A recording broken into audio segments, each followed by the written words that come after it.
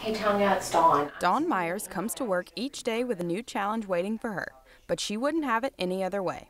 School social workers are a little bit like detectives because we hear one little piece of what's going on. We hear the symptom. Right. The grades have slipped, the students crying during the day, the students scared to go home, um, something like that. But that's not the problem. It's just what children show us. In a county like Athens Clarke, the numbers for absenteeism can be staggering. Last year alone, they estimated 28% of students missed 18 days or more of the school year. That's 18% higher than the national average, according to attendanceworks.org. We've decided it really doesn't matter. Right. That it really matters whether you're behind is in the seat learning. Meyers has been a social worker in Clarke County since 1998.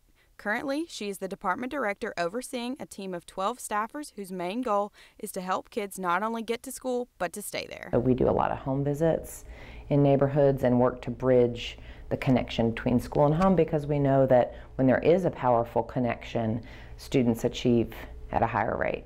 As for her favorite part, I love social work as a profession and, and all that it stands for and kind of the social justice aspect of, of helping people to help themselves and helping make the world a better place. Um, that appeals to me. Meyers says the hardest part of her job is when the big governmental systems fail to truly help families in need. Kids are very resilient in spite of all. I, I, oftentimes ask people, how ready would you be to go to class or work if you slept in your car last night? And we have kids sit in our classrooms who have done just that. Those kids are resilient, but lucky for them and their families, so is Dawn Meyers. Ann Drinkard, Grady Newsource.